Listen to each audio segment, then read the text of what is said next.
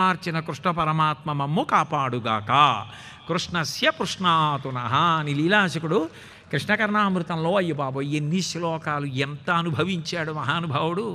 కస్వం బాల బలానుజ కిమిహతే మన్మందిరాశంకయ యుక్తం తం నవనీతపాత్ర వివరీహస్తం కిమర్థం యసేహి.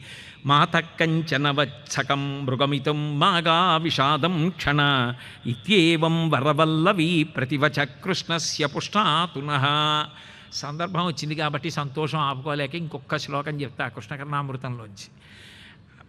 కృష్ణలీలలేగా నీ చెప్తున్నది. కాబట్టి అందులో ఒక చోట అంటాడు లీలాశకుడు ఆ కృష్ణుడిని పడుకోబెడుతోంది అమ్మ. పడుకోబెడుతున్నప్పుడు పిల్లలకి తల్లులు కథలు చెప్తారు కదా. ఆ కథలు చెప్తూ జో కొడుతూ కథ చెప్తోంది.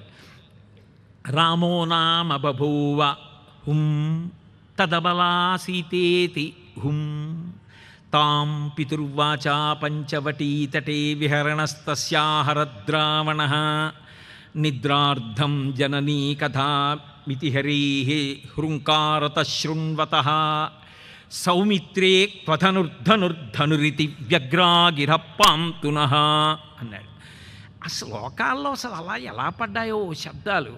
ఆవిడ పడుకోబెట్టి కృష్ణుణ్ణి జోకొడుతోంది జోకొడుతూ జోకొడుతూ కథ చెప్పాలి కాబట్టి రామో నామ బభూవ హుం. రాముడని పూర్వకాలంలో ఒక మహానుభావుడు ఉండేవాడు రా అన్నాడు. తదబలా సీతేతి హుం. ఆయన భార్య ఉండేది ఆవిడ పేరు సీతమ్మ. తాం పితుర్వాచా పంచవటీతటే విహరణస్తస్యాహరద్రావణ. ఆ రామచంద్రమూర్తి వాళ్ళ నాన్నగారు దశరథ మహారాజు గారు చెప్పాడని చెప్పి తండ్రిని సత్యమునందు నిలబెట్టడం కోసమని పద్నాలుగు సంవత్సరములు అరణ్యవాసం చేయడం కోసం భార్య అయిన సీతమ్మతో తమ్ముడు లక్ష్మణస్వామితో కలిసి దండకారణ్యంలో ఉండడం కోసమని అరణ్యవాసానికి వెళ్ళిపోయాడు అంది. ఎందుకు చెప్తోంది ఇదంతా? నిద్రార్థం జననీ కథామితి హరీ హుంకారత శృణ్వత. పిల్లవాడు నిద్రపోతాడని జోకొట్టి చెప్తోంది. ఇది వింటున్నాడు ఆయన. అక్కడ వరకు విన్నాడు. ఆ తండ్రి మాట నిలబెట్టడం కోసమని రామచంద్రమూర్తి సీతమ్మతో లక్ష్మణస్వామితో కలిసి పద్నాలుగు సంవత్సరముల అరణ్యవాసం చేయడానికి దండకారణ్యానికి వెడితే రామచంద్రమూర్తి యొక్క పత్ని అయిన సీతమ్మని రావణాసురుడన్న రాక్షసుడు అపహరించాడు అంది. అలా అనగానే ఒక్కసారి నిద్దర్లోంచి గబుక్కున లేచి ఉలిక్కిపడి సౌమిత్రే క్వధనుర్ధనుర్ధనురితి వ్యగ్రాగిరప్పాంతున లక్ష్మణ ఏది నా విల్లు ఏది నా విల్లు ఏది నా విల్లు అంటూ లేచి కూర్చున్నటువంటి చిన్ని కృష్ణుడు ఉన్నాడే ఆయన మమ్ము కాపాడుగాక. అంటే ఆయన చిన్ని కృష్ణుడే కానీ ఆయన అవతారమే కదా రామావతారం. అందుకని రామకథ చెప్తుంటేట అక్కడ వరకు అంటూ విన్నాడు.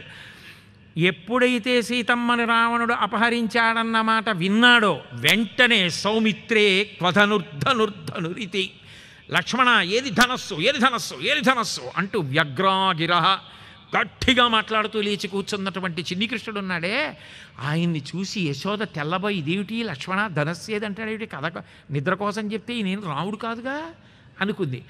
అలా ఆపుకోలేక రామతత్వాన్ని కృష్ణావతారంలో బయటపెట్టినటువంటి ఆ చిన్ని కృష్ణుడు ఎవరు లేచి కూర్చుని మాట్లాడాడో ఆయన మమ్ము రక్షించుగాక. కృష్ణస్య పుష్- కృష్ణస్య పుష్ణాతున. బాలాయ నీలవ పుషేన వకింకిణీక జాలాభిరామ జగనాయ దిగంబరాయ శార్దూల దివ్యన కభూషణ భూషితాయ నందాత్మజాయ నవనీతముషే నమస్తే అంటాడు. బాలాయ నీలవపుషే నవకింకిణీక జాలాభిరామ జగనాయ దిగంబరాయ. ఒంటి మీద బట్ట లేకుండా కపిలేశ్వరం కపిలేశ్వరం వారు భాగవతం పుస్తకాలు వేశారు. దాని మీద ఉంటాడు భలే ఉంటాడు చిన్ని కృష్ణుడు దిగంబరంగా ఉంటాడు. చిన్ని పిల్లవాడు. ఆ మెడలో అమ్మ వేసినటువంటి